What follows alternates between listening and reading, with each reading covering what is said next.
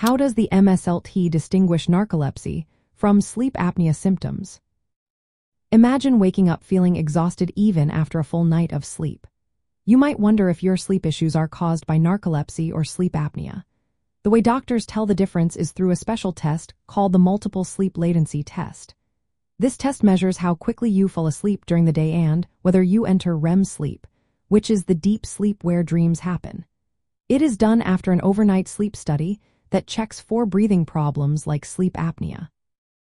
During the overnight study, sensors monitor your brain waves, breathing, and movements to see if your sleep is disrupted by pauses in breathing or low oxygen levels.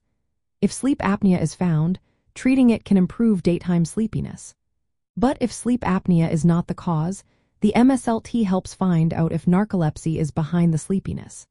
The test involves five short naps scheduled to hours apart, each lasting about 20 minutes. During each nap, sensors track how fast you fall asleep and if you enter REM sleep quickly.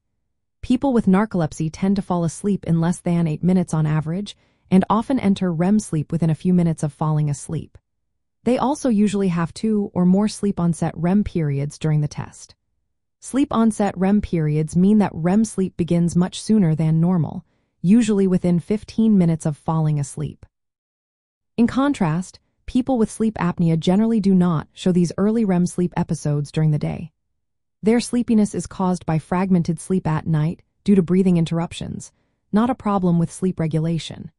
The MSLT is only performed after an overnight sleep study confirms that sleep apnea is not the main reason for daytime sleepiness. This way, doctors can tell if the sleepiness is due to narcolepsy or if it is caused by untreated sleep apnea.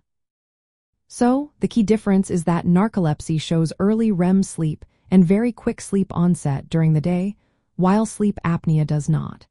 The MSLT helps clarify what is causing the sleep problems so that the right treatment can be given.